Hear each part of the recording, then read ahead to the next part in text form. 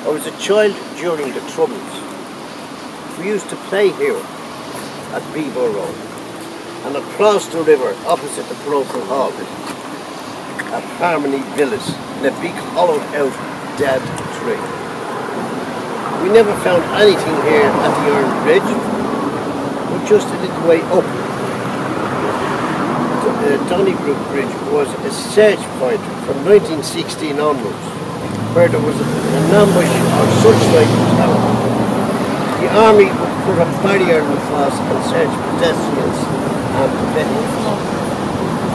We picked up at least six revolvers, several cans of bullets from the river beneath the bridge over the years, where apparently they had been dropped into the river before the search. Then we played with and we used to be carefully buoy them away. One time, one of the number found what appeared to be a leg of an armchair with a ring at the end of it. He was bashing it off the rocks in the river to get the ring off. The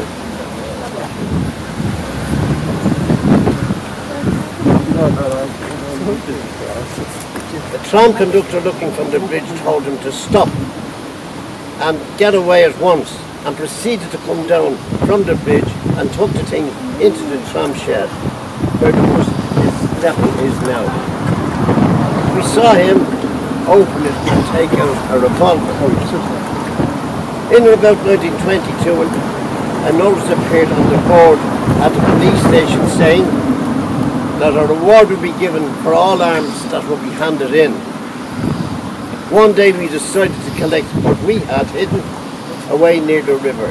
At least six revolvers, one sword, two bayonets, and several cowboy cans filled with bullets, small, medium, and very large, about nine inches. Some of the medium bullets had four cuts in the silvery part.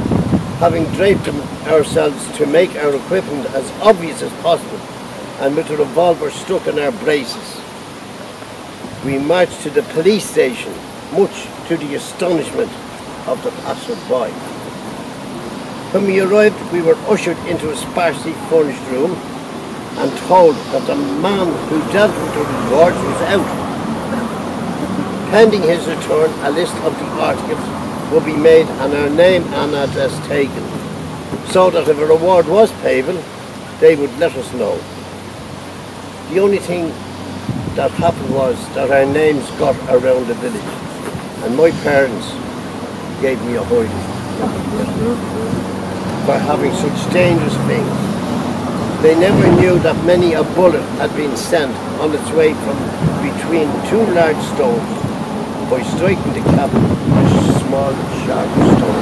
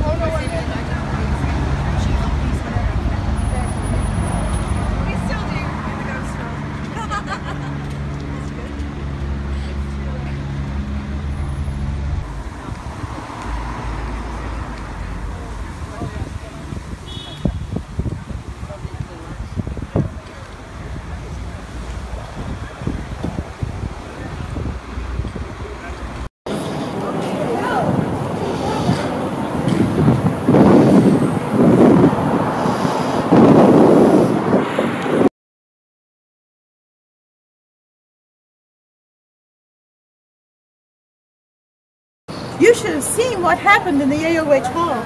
There was a meeting of the Donnybrook Brigade, right where that fire station is now, on 28th of September, 1914. I know because I was there. We were there to discuss the call to arms by John Redmond. He wanted us to help defend the British Empire. He said it was our duty to defend small nations and that it would help us get home rule in the end. But De Valera was having none of it. He said, and he often did this sort of thing, grandstanding some people called it, he said, I disagree entirely with this position and the parting of the ways is common. Then he said that there were obviously two different camps on the matter, for and against enlistment, and he was totally against enlistment. So he said, those who side with Ireland will go to this side of the hall, and those who would like to support the British Empire go over there with Redmond on the other side of the hall. So that's what happened. The hall divided into two parts, and then they counted how many people were on each side. And in De Valera's camp, there were three people less than there were in Redmond's camp for enlistment. So De Valera, to save his honor, had to walk out. And I walked out with him and some of the other supporters that were for him. Dev's parting cry as he walked out the door was, he leaned over his shoulder and looked back and said, You'll need us before you get home, you And possibly he was right. We didn't know it then, this was one of the first of many splits around the country that split the Irish volunteer movement into the Redmondite and the Eoin MacNeill trenches. There was about 50 of us volunteers who marched out of the AOH Hall with Dev, and he continued with his drills in Donnybrook, up by Donnybrook Church, and in number 9 Beaver Row in the disused Wesleyan Chapel. The parades were held in a field opposite Donnybrook Church, but in a short, few short weeks, I stayed, but many of the men drifted away. At one time, there was only seven of us left, not counting Dev. But even with that small number, De Valera carried on as if he had a full company keeping it together. The number would then increase when we were joined by the remnants of the Dundrum Company, who had also parted ways with Redmond. So we got a drill hall in Beaver Row in the former Wesleyan Chapel, and our number soon increased to about 40 in the Donnybrook branch. Believe me, we needed every man. Okay, we're now going to go to see Molly Woods.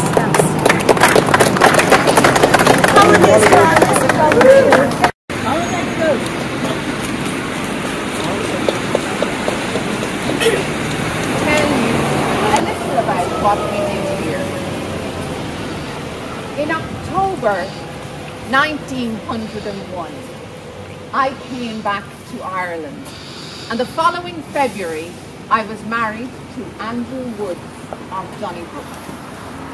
My father-in-law was a dairyman and a builder, and at first we lived in one of his houses in Eglinton Terrace. Horrid Pearse was a major influence on our political views. And that's why when we came here to St. Enda's, we called it. I heard from the Midlands, who were in the Citizen Army, and the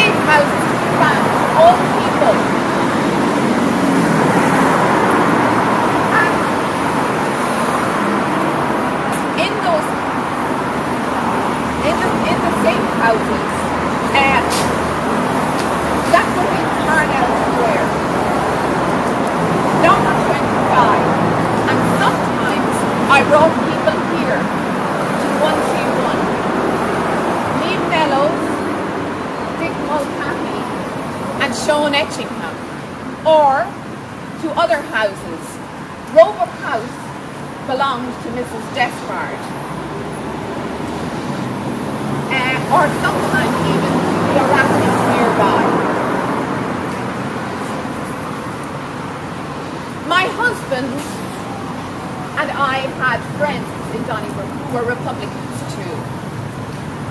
He was friends with Arthur Griffith and De Valera. The O'Rahilly and Bat O'Connor were regular vis- visitors to 131.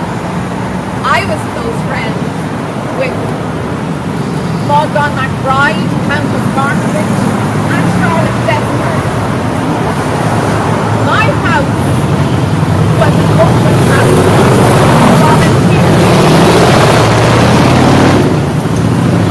all quarters, both citizens and men.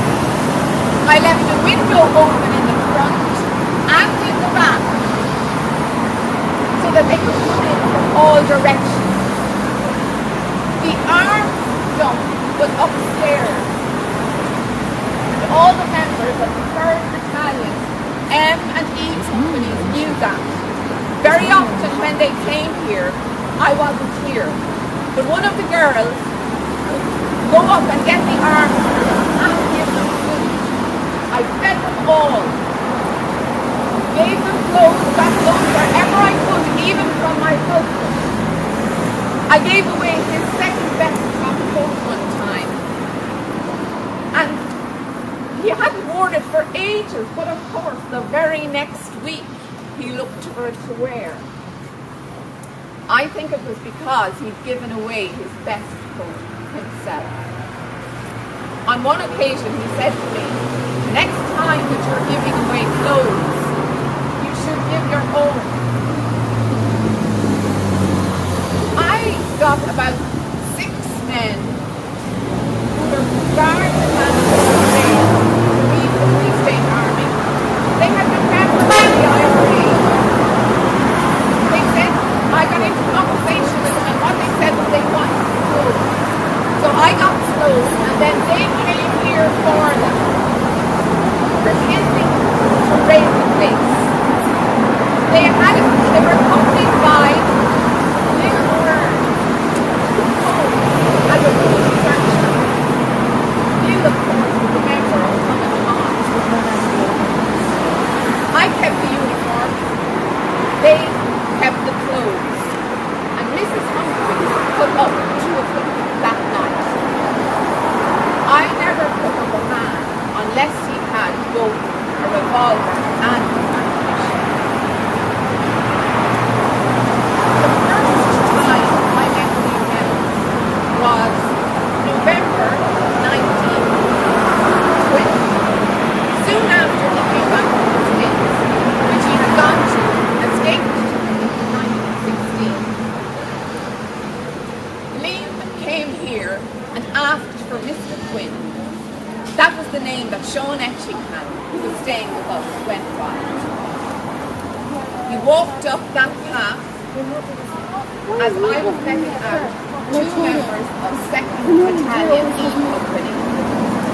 He went straight through into the hall. I brought him upstairs, and I knew when I heard the friendly welcome of Sean that I had not made a mistake. Liam Mellows became a beloved member of our household. Volunteers came from all over to meet him here, particularly Galway and Clarenbridge. And this became his Dublin headquarters. We with but it was because Liam and Sean were so cool in safe.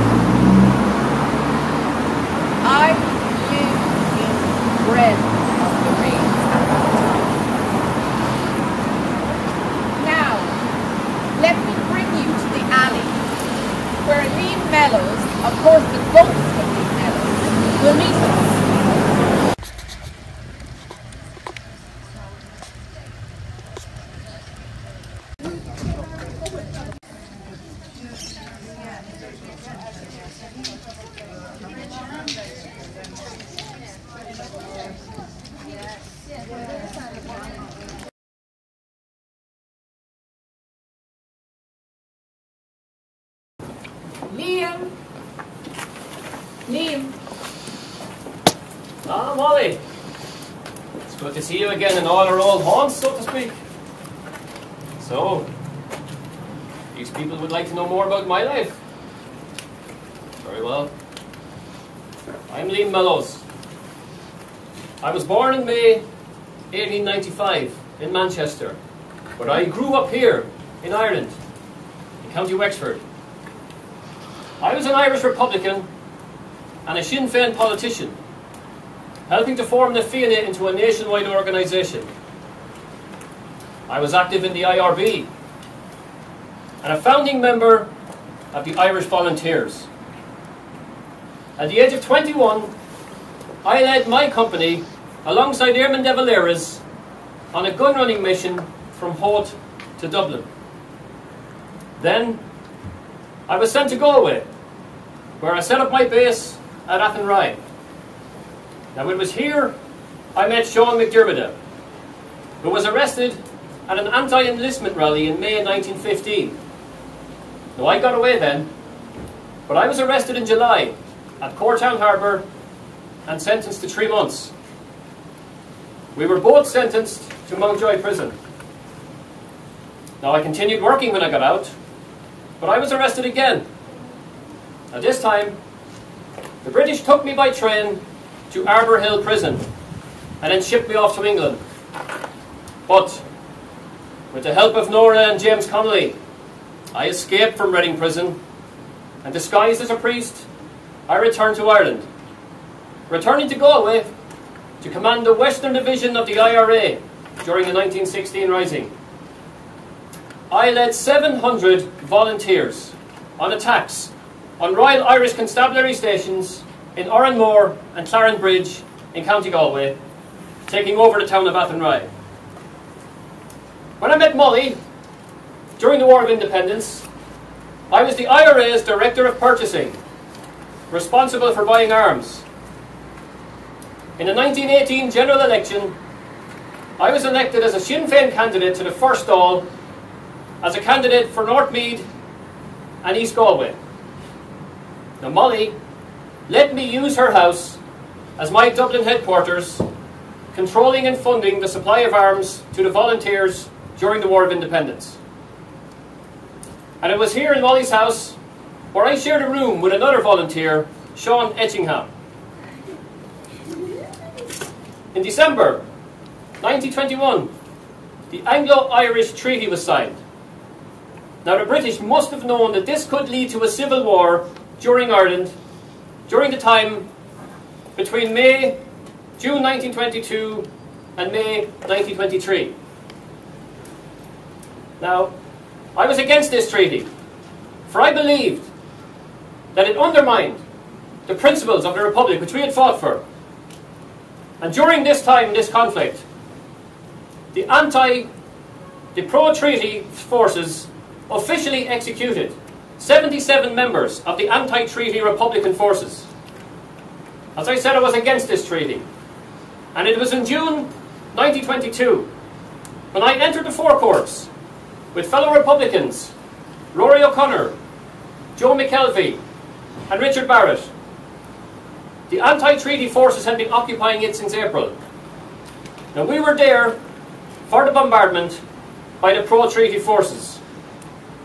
And we surrendered after only two days. Now I had a chance to escape, but I didn't take it.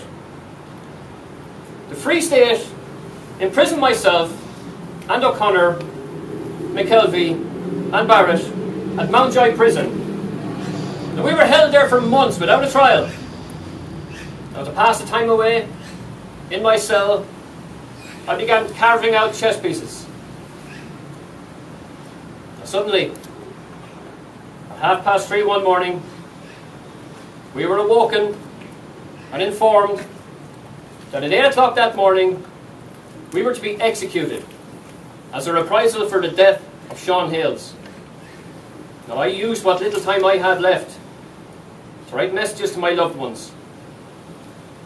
At 5 o'clock, I wrote a letter to my mother Sarah. I remember I started the message by saying, time is short. and much of what I have to say must go unsaid. But you will understand.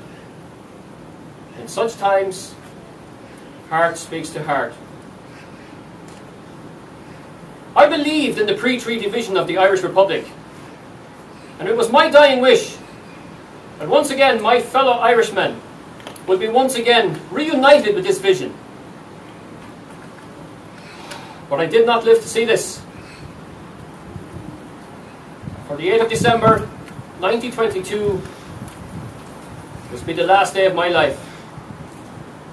For at 8 o'clock that morning, we were taken from ourselves, marched outside, and executed by firing squad. We were devastated when we heard the news. The first time I saw my husband cry was when he heard of your execution. Andrew came with me to claim your body. We took the car, and on the way we met Mrs. McBride and Mrs. Despard. We went to fetch your mother drove to Mountjoy and asked that your body be released into our custody. But to no satisfaction. Then we went out to Tim Healy's house in the Liffey Valley. And as we approached the gate, we were halted. A Free State soldier from Donnybrook who had been in the British Army, recognised me and said, No, Mrs. Woods, you can't go there. But he sent another soldier to us to take a message for His Excellency. We demanded the body of Liam Mellows executed earlier that day. The soldier came back with the answer that there was nothing His Excellency could do in this matter and that it was to Gearóid O'Sullivan, the Adjutant General, that we would have to go. So we went to Michael Comyn to take the necessary steps. He made a phone call and made our request. Immediately the phone went dead. We had no further success in making contact. You were buried in Mountjoy. Several years later, when De Valera was in power, your body was removed and brought to Castletown Cemetery in Wexford, a few miles from Arklow, where your mother's people were born.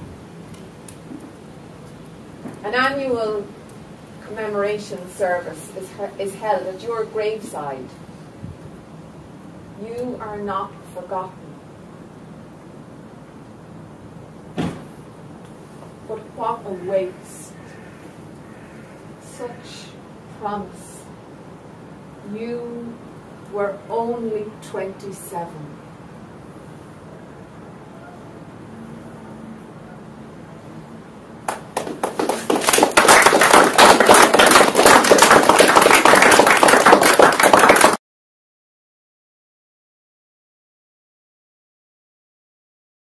So I'm the ghost of uh, Joseph Plunkett.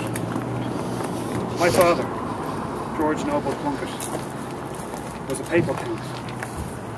But while my life was privileged in some ways, it was not easy. Can't hear you back here. I contacted TB when I was young and suffered from pneumonia. I spent some time in the Mediterranean and North Africa, as the climate was better for me. But I was always interested in our heritage and the Irish language. Did you know I studied Esperanto? I was one of the founders of the Irish Esperanto League. I joined the Gaelic League and studied with Thomas MacDonagh. We shared an interest in poetry and theatre. and we joined Irish Volunteers. In 1915, I joined the IRB and was sent to Germany, where I met Roger Casement. I got a promise of a German arms shipment to coincide with the rising, which I had a large role in planning. But my health still let me down. I ended up going to hospital to have an operation on my neck lens. It was a struggle to get out of my sick bed to get to the GPO.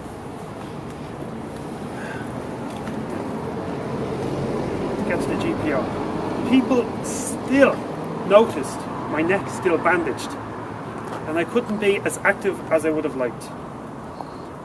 My aide de camp was Michael Collins.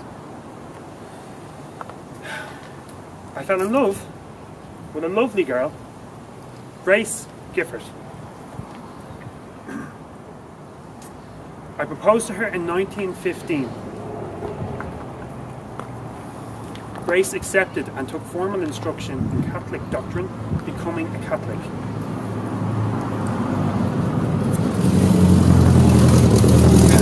We planned to marry on Easter Sunday 1916. Thomas was marrying her sister Muriel. Her parents were not happy about her marrying me because I was so young.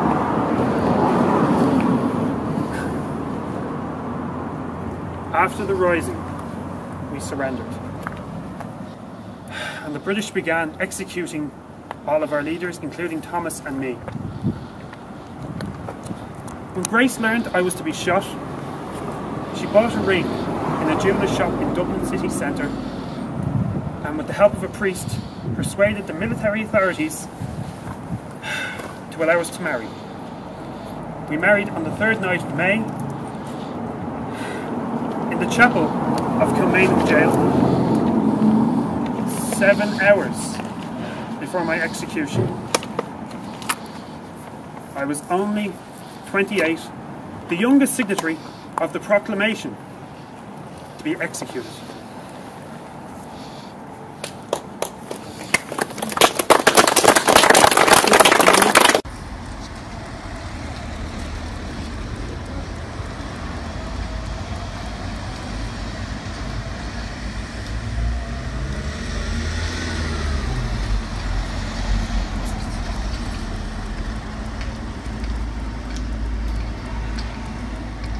On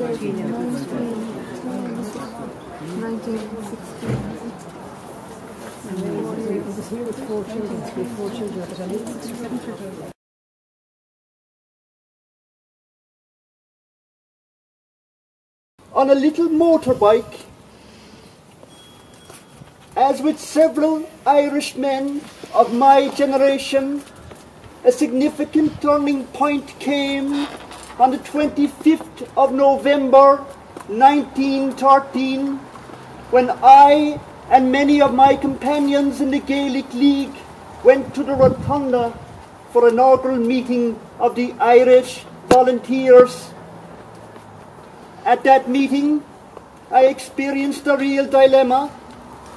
Enrollment forms were handed out, and after the speeches, I considered whether I should join. I was married, and my wife and children were dependent on me. And I had no doubt that the formation of the volunteers meant that there would be an armed insurrection. I decided that our manpower was such that the movement was confined to unmarried men, it would not be numerous enough to succeed. So I crossed that Rubicon and joined. While I had not previously been involved with militant republicanism, I devoted myself with diligence and commitment to the cause and began to make a name for myself among the volunteers.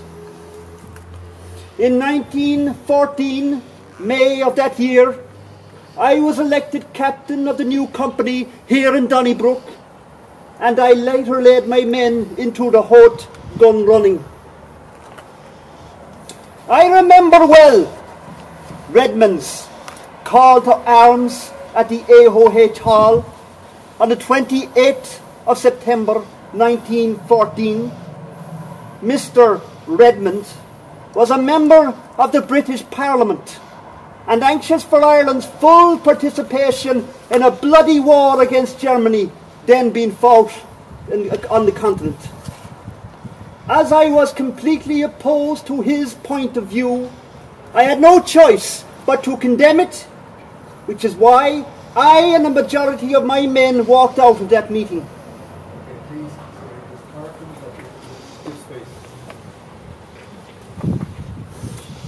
When I tried to reorganise the company under the reformed Irish volunteers, only seven men expressed an interest. But I didn't let this discourage me. We went on to drill, and over time we made up the numbers. Following the rising, I went on to lead the Republican movement during the War of Independence, became leader of the anti-treaty forces during the Civil War, and became your Taoiseach and President of Ireland.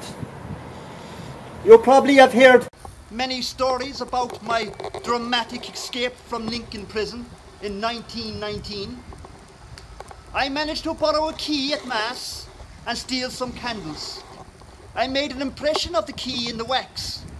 This was smuggled out, and my friends made several attempts to make a working duplicate, sending them cakes. Finally, I was sent a cake with a blank key and files in it and got a working key. My wife Sinead died on the 17th of January 1975 on the eve of our 65th wedding anniversary. And I died in Linden Convalescence Home, Blackrock on the 29th of August 1975 at the age of 92. God save the Republic.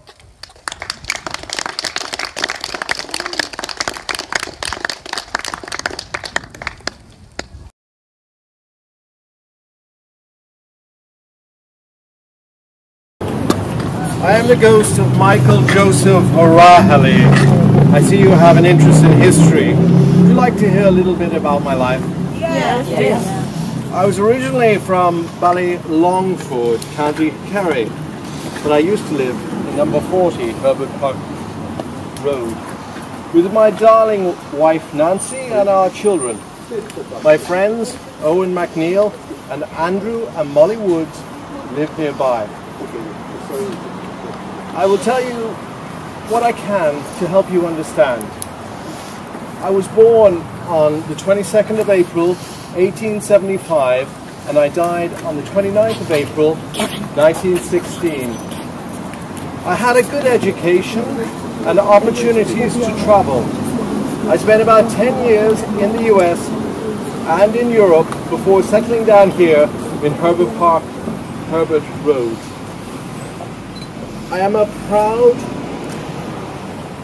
I am proud that I was an Irish Republican and a nationalist and a founding member of the Irish Volunteers in 1913. I have to say, from the start, I was not party to the plans of the Easter Rising, nor was I a member of the Irish Republican Brotherhood, but I was one of the main people who trained the Irish Volunteers for the fight for our independence, which we knew was coming in the future. Some of us volunteers were against taking unprovoked, one-sided action. We feared we would not have popular support and it would lead to unpredictable numbers of military and civilian casualties and would therefore be unlikely to succeed. The people who planned the Easter Rising were well aware of our position and they went to a lot of trouble to prevent us from learning that the rising was imminent. Those of us who were to be kept in the dark included Eoin, who was the chief of staff, Bulmer Hobson, and myself. When Bulmer, when Hobson discovered that an insurrection was planned, he was kidnapped by the military council leadership. When I heard this, I went straight to Patrick Pearse's school on Good Friday I barged right into Pearse's study, brandishing my revolver in the air, and exclaimed, Whoever kidnaps me It'll have to be a quicker shot. Pierce calmed me down. I assure you, he said, Hobson is unharmed. We will release him after the rising begins. The whole country was due to be on maneuvers on Easter Sunday. We found out this was the cover for the start of an armed insurrection. Eoin MacNeill wrote a letter to Father Flanagan countermanding the order to mobilize. He urged all priests and anyone with any influence with the Irish volunteers should advise the men to go home and take off their uniforms. Eoin asked me to travel around the country and try and get the rising called off. When I got back to Dublin on Sunday, I learned that the rising was about to begin anyway. On the next day, Easter Monday, 24th of April 1916, despite my efforts to stop it, I set out to Liberty Hall in my Dion Bouton motor car, my last ever journey in it, to join Pearse and Connolly and the other leaders with the Irish volunteers and the Irish Citizen Army troops. The Citizen Army was lined, lined up in front of the hall in deep formation, and on the steps of the hall, James Connolly and Countess Markievicz were being photographed. They knew that I thought the action was doomed and had tried to stop it, so they were surprised that I turned up. I explained, well, I helped wind up the clock. I might as well hear it strike. And that is how I ended up in the GPO on Easter Monday. On Friday the 28th of April, with the GPO on fire, I volunteered to lead a party of men along the route to Williams and Wood's factory on Great Britain Street. A British machine gunner had the intersection of Great Britain and Moore Street cut me and several others down and wounded me wounded me badly. I stumbled into a doorway on Moore Street, but hearing the English marking my position, I managed to cross the road and find shelter in Stackpole Lane. They renamed it O'Rahilly Parade after me. I was wounded diagonally from the shoulder to the hip by sustained fire from the machine gunner. For 19 hours I lay there. There was a British officer guarding me, making sure no one could come to my aid. I can't help wondering if the ambulance driver was able to allow allowed to pick me up, maybe I could have survived. I managed to write a farewell letter to my wife in blood on the back of a letter I received in the GPO from my son. I sent them all my love and told them it was a good fight anyhow. My body was released to my family and following a funeral mass in Donnybrook Church was interned in Glasnevin.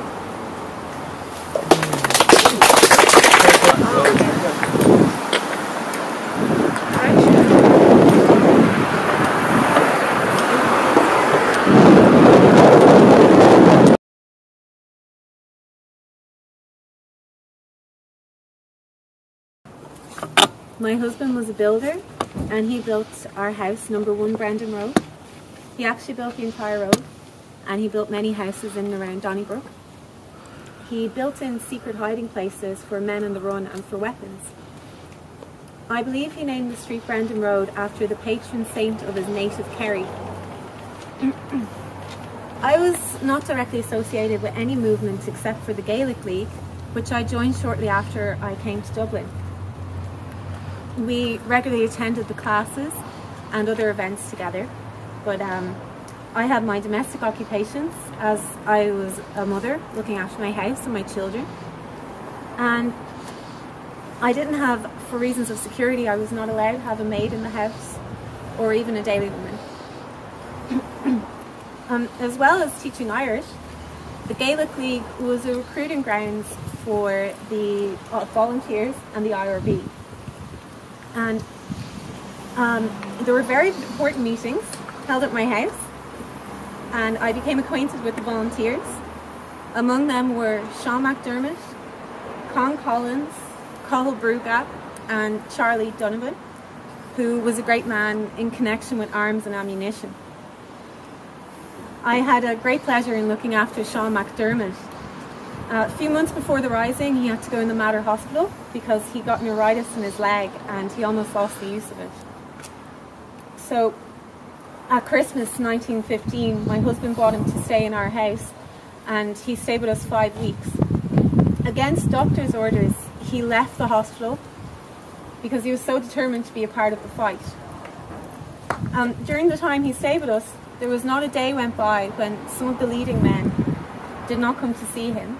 And this is when I met Thomas MacDonagh, Major MacBride, and many other, many other men whom I did not meet again as they lost their lives in the fight. So during the weeks preceding the Easter Rising, the many arms and ammunition were brought to our house here at Brendan Road and they were stored in a building plot that was at the end of the road. And two boxes of cartridges were bought inside the house and they were hidden in every location they could find, including the hollow curbs and the fireplaces. And during the days preceding the rising, uh, soldiers and the volunteers, they came up to the house in pairs, in singles and in groups, and they fetched all the arms and ammunition. But there was still some ammunition left in the building plot. So on the day after the rising, on the Monday after the rising, the, um, the house was actually raided. And it was raided a few times afterwards, but this was the worst raid that I ever had. And I felt very alone as I only had my five young children with me. And the military, they evidently expected to find um, men and arms in the house, but they actually found nothing. And they were really disappointed at finding nothing in the house, so they said, Will you take me down to the building yard to see what was there? So I brought them down to the building yard, and they were walking around the plot, and they walked right over where the stuff was stored, but they still got nothing. And um, the officer said to me, I'm really sorry, Mrs. O'Connor, for the disturbance, but we must do our duty. And um, I said, oh, it's all right, you got nothing anyway. And I felt this like great satisfaction just being able to say you got nothing. so um, after the rising, well dur during Easter week actually, Bat was sent to Kerry to await the instructions about the, the rising that they had planned over there. And I was in great anxiety during the week because I didn't know where my husband was and I, I hadn't seen him since he left our house for, for Kerry on Good Friday. But a few days after the surrender, a messenger came to me and he, he gave me notice, a message that I could come and see my husband. And the message was written on the flap of the envelope and it was in Bat's handwriting and it was signed by him. And he, he said that he was in Richmond Barracks, he'd been detained there. So the very next day I went over to see Bat and we only had a few moments to speak to each other. We just discussed general business and everything and um, we only were able to exchange a few details and then he was sent off to England. In prison in England for four months. He was first in Wandsworth and then he was in Frongoch. And um, during his time in prison, he made friends with Michael Collins. And when they were released, they helped each other reform the IRB and the Sinn Féin organisation. Um, Michael Collins uh, was um, was a very interesting man, and Bat had a great influence on him. And Bat convinced him to go to London to form part of the Anglo-Irish Treaty delegation. And after he signed it, he returned to Ireland and he confided his despair in Bat again. But he only stayed in our house on one or two occasions as it was too dangerous a place for him. Um, number 23 of Brendan Road, Michael Collins stayed there and that was a place where his secretary and his aunt lived and it was another secret place for him. And number six, which was under the ownership of Doyle Aaron, was another place for Michael Collins. So, um, oh, one night when Michael stayed, Michael Collins stayed and um, and um, Harry Boland as well, and Bat, and the three of them were in the kitchen together, and they used to sit around chatting and. Uh, Michael was talking about his life in London, and Bat was talking about his life in America, and Harry Boland used to say, "Oh, there's no place like Dublin. Dublin's the best." And uh, he said, "Oh, he said to me, do you, do you ever know? Do you know that anything better than going out on one of, the, outside cars on a sunny afternoon and going down to the strawberry beds and singing old Dublin songs like Cockles and Mussels? That was his that was his favourite part of life, I think." So um, that night, Mick and Harry Boland they slept in the return room in the house, and uh, they slept in the one bed together. And there was a little window just open at the end of the bed, uh, so that they could escape easily if the place was raided. And I never went to sleep when they were staying there because I was just too scared the place was going to be raided. I didn't sleep a wink. So that night, I remember I crept in gently just to check everything was okay and that they weren't, you know, they hadn't been taken away or whatever. So uh, yeah, I remember I noticed they were fast asleep. But Michael Collins had his hand on the little bedside table and there was a revolver right underneath it. So yeah, it just goes to show. Um, Thomas Ashe also stayed in the house for a week and he was um, a wonderful man that my husband was very fond of. He, uh, he was a very noble man with a, a, tall figure and I'll always remember him, he had lovely wavy hair and he was just one of the nicest people. He got detained in Mountjoy prison and I still have a letter that he sent me from Mountjoy prison. He, um, I think his death for me was the greatest tragedy of all the deaths. So after the rising, the meetings continued to be taking place here at Brendan Road and uh, Austin Stack, Michael Collins, Harry Boland, they all came here. But Michael Collins, which was very interesting, as much as he came here for meetings, I felt I knew him the least because he was always too engrossed in his important occupations. He never took part in any small talk and he, um, the women like they worked for him and they knew this about him but they overlooked it because they knew he had so much on his mind that he couldn't take part in small talk. So everybody, it gives me great solace to know that I had the honour of looking after all these great men, putting up with them and washing their clothes and everything and cooking for them and um, the fact that they sacrificed their lives for Ireland. I'd be very happy to do it all over again. Thank you.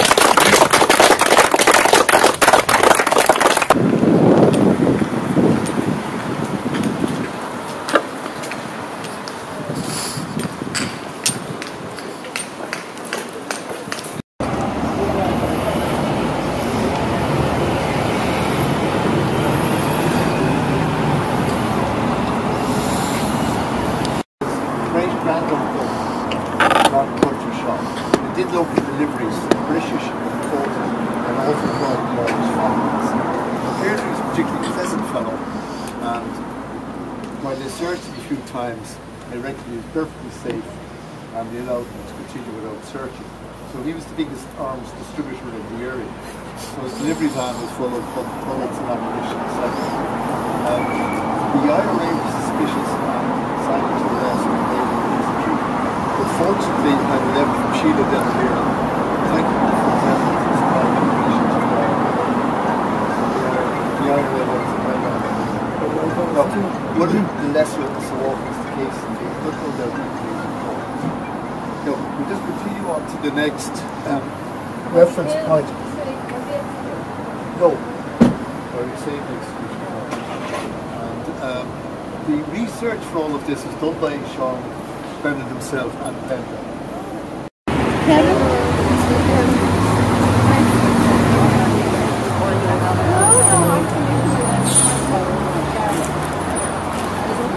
So you, you do your bit in Ireland, Regularly raided, but nothing was found. So it was much later. Uh, the horse was frequently used, the meeting the cabinet, IRA headquarters, and the public. Uh, amongst these attended were Neville Leary, Cathal Brugha, Michael Collins, Richard McConney, Martin Griffin, and Harry Boland. Uh, Cathal Brugha, who was equally sought after by the British forces, regularly hid, in these in this house. Uh, at night he slept in the secret room. This is back to Bat O'Connor, who was expert in building hiding places in the house these people. And uh, Michael Collins, of course, was the person that most wanted. We were never been able to find him. Um,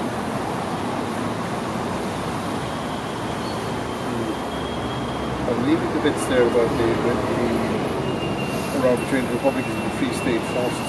But the Humphreys very, very nicely, similar to um, he had the other ladies played uh, most important part. The French embassy, I think, is up for sale. It's obviously very worthwhile. The Ryan's, Ryan's bought it. Is it? Ryan's, some it Ryanair Ryan's for bought that? it. Okay. Well, not him, but some of his family. And I Okay, don't yeah. believe they're doing anything with it yet. Nice. It's number 36 up on the left. If you want to go on your own own walk sometime, it's number 36. It's still there. Sorry. Will Okay. I say a Now we're going things? back to Wait, wait, wait. Sorry. I want to say a couple of things first. Just wanted to bring in the bit about Ernie um, there was a bit. So that's your- Oh, you have bit. Okay. Um, well, yeah, in 1922, when the Civil War broke out between the Republican and the Free State forces, the house was used as the headquarters of what today would be called the resistance. What was called by the Free State the irregulars, and what was called by themselves the Republicans. So Ernie O'Malley was the chief of staff of the Irish Republican Army. He stayed some time with Sheila and her sister in uh, number 36. And he felt he had kind of, a, of an easy life there because they had three meals a day, nice bed to sleep in, and they played tennis, you know, while he was on the run. So it was a little awkward, you know, when other people didn't have such good conditions. And Michael Collins said in every single place there was, I think in the city, probably fewer houses he didn't hide in than the ones he did. But when Ernie O'Malley lived there, on, on one morning on November 4th, 1922, the Free State forces raided the house. They got in the word somehow that Ernie O'Malley was there. And in fact, very suspiciously, they went right up the stairs to the very hidden room where he was. And the room was well hidden behind the wardrobe and the secret door, and they knew exactly where it was. And people wondered, how did they find out? Did Bat O'Connor, you know, tell them? Did, uh, did some worker let it go? Had they found it out some other way? But in any case, he shot, they don't really know. One of the Free State soldiers was shot. And there was a big debate about who shot him. And Ernie O'Malley was shot 12 times trying to escape and remarkably survived. And he survived to write a book called On Another Man's Wound, which is, it's been described as the, as the first real classic of that period, so it's well worth reading. This lady's read it. Anybody else read it? Okay, now, but this is the official end of the tour, and then anybody who wants to can either go on to the park for the kids celebrations or back to Beaver Row for a cup of. Very careful of these lights. Very happy. Okay, thank you. Okay, thank you. Thank you all for coming on the tour. Really appreciate it. And we're very happy to have you correct any facts that we may have got wrong.